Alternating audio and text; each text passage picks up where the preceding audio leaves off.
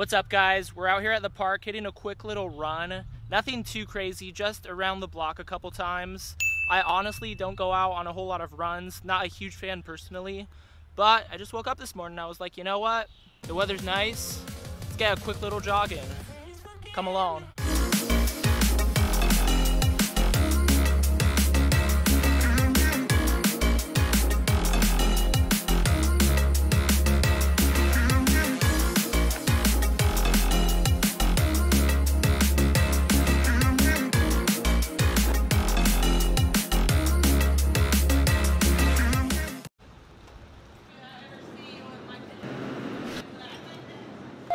Alright guys, I'm gonna let you in on one of my training secrets. If you're looking for that slight edge, a little extra explosion, well, look no further than this. 32 grams of protein in this. Honestly, if you're not using this, you're really missing out. What are you even doing? Oh my god. It's just the best thing. Seriously. Alright guys, just finished up editing last week's video. If you guys haven't seen it yet, five easy moves every white belt should know. You definitely want to check it out. It's got some good tips in there.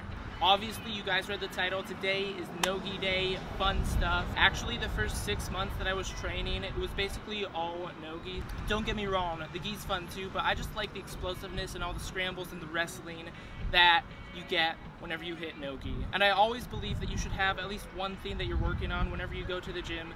So for example, today I want to work on some single legs and I also want to work on popping up from setup guard. Those are going to be my two focuses tonight. I'm about to upload this video. Afterwards, we're going to hit the road and get some jiu-jitsu in.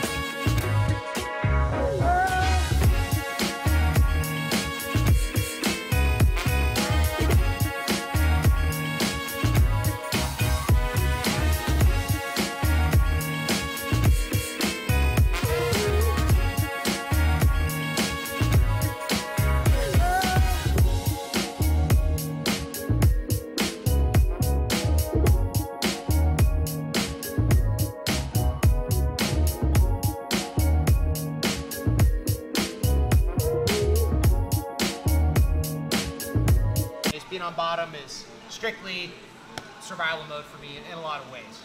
Staying on the inside. And what I mean by the inside is people go, I'll play half guard, and they're way up here. If you're the guy on bottom and you don't want these movements to be done to you, you need to get your underhook, and you need to get your head in their hip. I need to be tight to the hip. I need to be tight. You can go underneath, you can go underneath, it's fine. But the big thing the leverage comes from is my head. So that's why I hide my head. And then for me, to add more leverage for myself, I, I do the step over and I pull his foot, breaking the hip down. Those are two options I give you. You can do a lot more stuff in there, but those are the two concepts I think. Just hit it. Ready, one, two, three. My first match was with my friend Jamie. He used to fight for a local MMA promotion, but had to retire as he had a several year battle with cancer. The fact that he won that battle and is now back to training, I find inspiring. Here I set up from butterfly guard for a quick takedown. He tries to off balance my weight with his butterfly hook, but I'm able to redirect his hips, passing into dope mount. From here, I step over to full mount. Right here, he tries to frame on my hip, but I use my body weight to redirect his elbow, putting him in the gift wrap and setting in to take his back. And right here, I use a deep grip we've been working on in class to get the rear naked choke. Right here, he's trying to pressure for a knee cut pass, but I have my shin on his shin, preventing that, and I use that to set up to get the sweep. Right here I slide in for the leg drag, but since it's no gi, I decide to slide all the way through for dope mount and then step over into full mount. Here he's able to pummel his top arm in between my hips and use that to stand up. Here, as I go for an arm drag, he pulls back, allowing me to support my weight and get behind him. And I then throw in my left leg for the hook, a gable grip on his shoulder to support my weight, which allows me to throw my other hook in for the full back mount. He rolls to his butt to try to shake me, but since I already have the underhook, I just push off on his head and go for the armbar.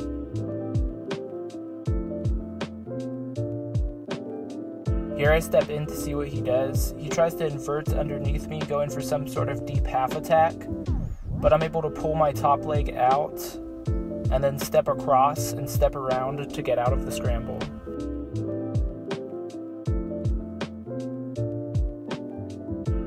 I step in again and he tries to go for the same attack. Here he tries to sweep me, but I'm able to switch my hips over, going into dope mount, and then step over into full mount. Here he exposes his back, so I try to set in to take it, but he's able to get under my hips again, preventing it. And here I step back, throwing my hooks in, but then decide to bail on it. Here I try to sweep him with an arm drag, but he underhooks my hip, allowing me to clamp down on the triangle.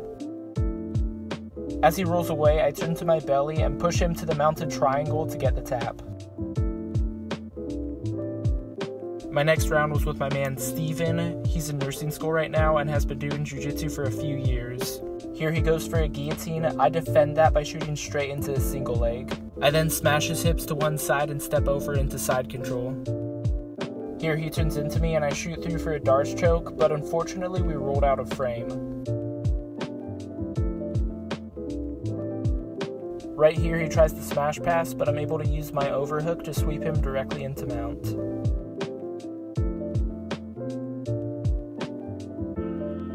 Right here, as he exposes his back, I try to attack a swim armbar, but unfortunately we roll out of frame again. And here I use the collar and wrist grip to pull him into a triangle choke.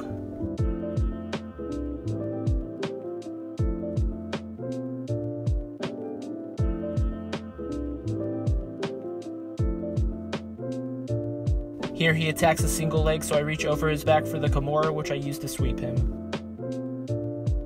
I then switch my hips to get on top and then go for the finish from the north-south.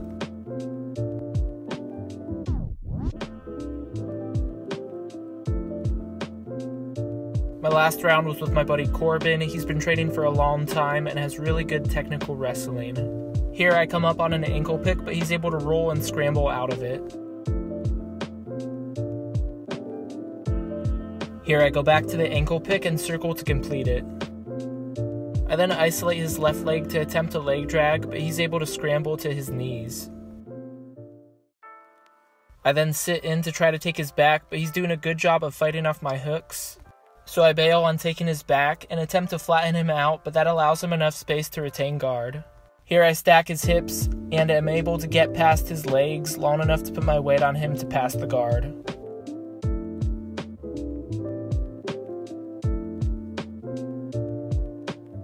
He counters by hipping out and grabbing my hip, which prevents me from putting any pressure on him. He then switches to try to funk roll me, so I step through out of the scramble and attempt a knee bar.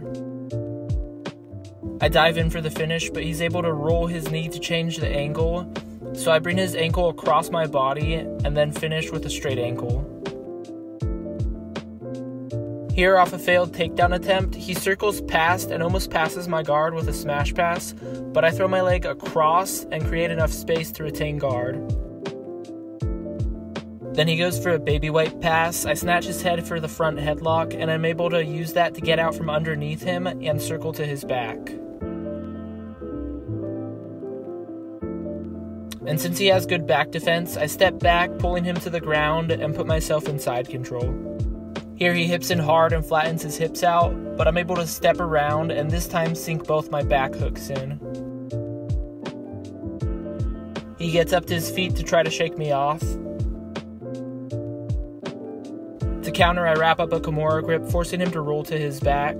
I switch off to the body triangle to solidify the position even more. He switches sides, making me break my body lock, and then has enough space to shrimp out of my back control. I follow him back to his feet and then try to put him back down and try to take his back. Out of a scramble, he grabs my leg. I fall behind him trying to counter it and end up in a decent armbar attempt. I roll through trying to finish it, but here he sets up and pulls off one of the gnarliest armbar defenses I've seen in a minute. He rolls through again, trying to escape it. The whole time I'm keeping pressure on his arm. He manages to throw his leg over, creating enough space to get out of it. While he's attacking with a knee bar attempt, the timer goes off. What a sequence to end on. What's up guys? Solid class, worked some smash passes. It's always important to get some good solid drilling in. Even if you think your technique is the bomb, there's always some holes that some good technical drilling can help take out of it.